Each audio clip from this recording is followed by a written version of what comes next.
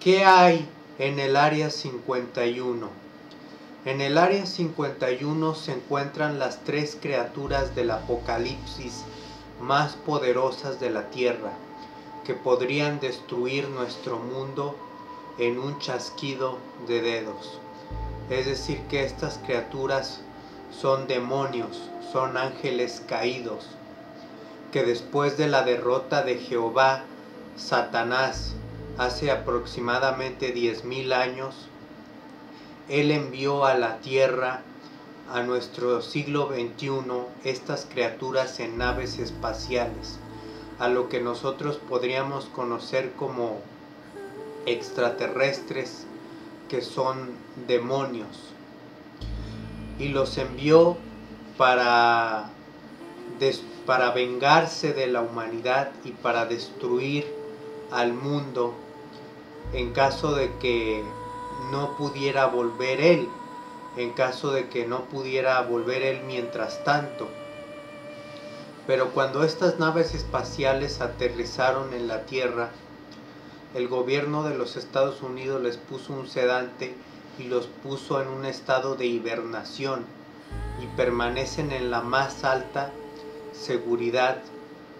de el área 51 y todo para que no se puedan escapar pero esta seguridad fallaría en caso de que estos seres extraterrestres o demonios despertaran ya que tienen una fuerza sobrenatural impresionante y unos poderes psíquicos inimaginables. El hecho de que nuestro mundo no esté destruido por los tres seres más poderosos del mundo es sino por causas de que solamente están dormidos, de que están en un estado de hibernación y por eso tenemos esa suerte y de que les aplican sedantes para mantenerlos dormidos. Jehová planea, está prisionero en un planeta inhabitable, un planeta congelado, y está prisionero en una celda eh, de la cual no puede salir. Es una especie de cubo electromagnético del cual no puede salir con un campo de fuerza, un cubo electromagnético con un campo de fuerza del cual no puede salir, no puede escaparse. Fue arrestado por los extraterrestres benévolos y también por los antiguos dioses egipcios por violar las leyes universales y cósmicas, porque hay que recordar que este Jehová, que es el mismísimo Satanás, es el mismísimo diablo, creador del pecado, creador de la fornicación, creador de la maldad, creador de la violencia, creador de la guerra, eh, propagandista de la destrucción humana, creador de toda clase de maldades, eh, podemos ver incluso en el Antiguo Testamento bíblico cómo mandaba a matar a miles de familias, a destruir a cientos de personas, a matar, a asesinar a cientos de familias, a cometer rituales satánicos a, su nombre, a favor a su nombre. Eh, y cómo les prometía a los israelitas tierras prometidas que nunca les entregó a cambio de batallas y de conquistas. Y cómo pues hizo miles de genocidios alrededor del mundo por medio de los israelitas. Y por eso Satanás, que gobernaba la tierra hace aproximadamente entre 2000 y 3000 años,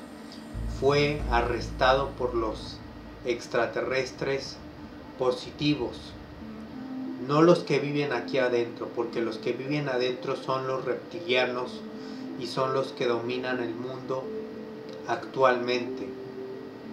sino por seres del espacio positivos que el único, la única intención que ellos tienen es hacer despertar nuestra mente para que puedan, puedan llevarnos a una dimensión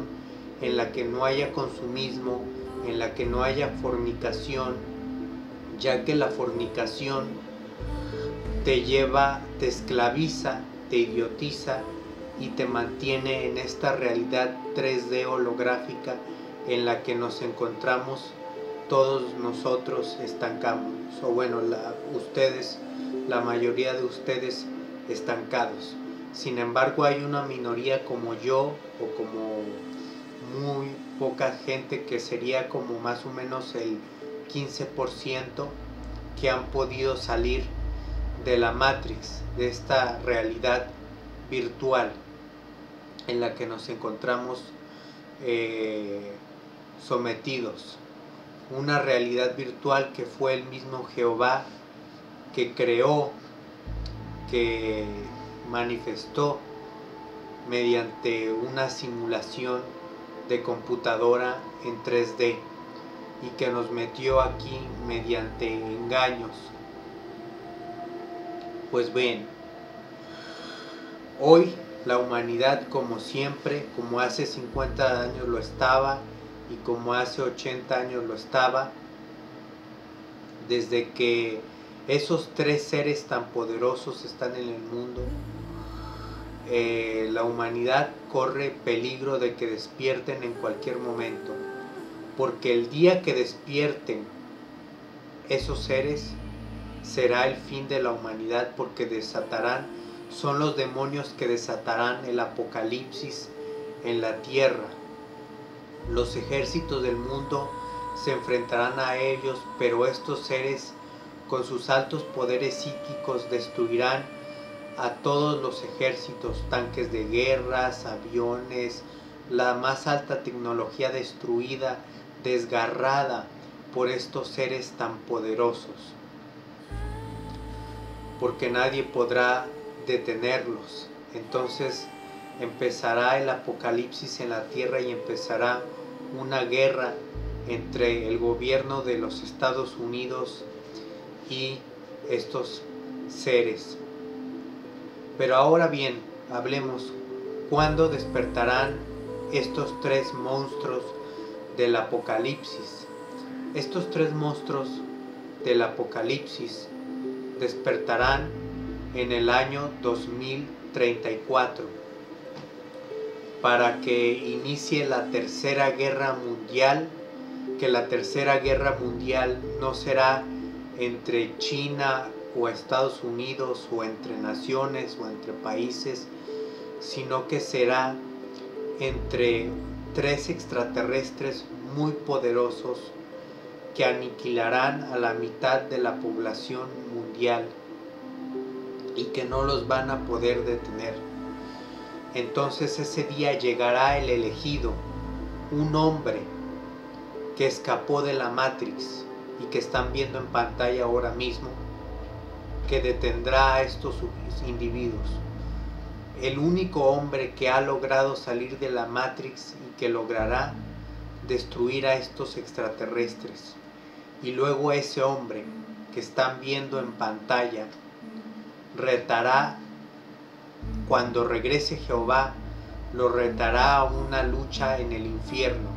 a una batalla en el infierno. Entonces se teletransportarán al infierno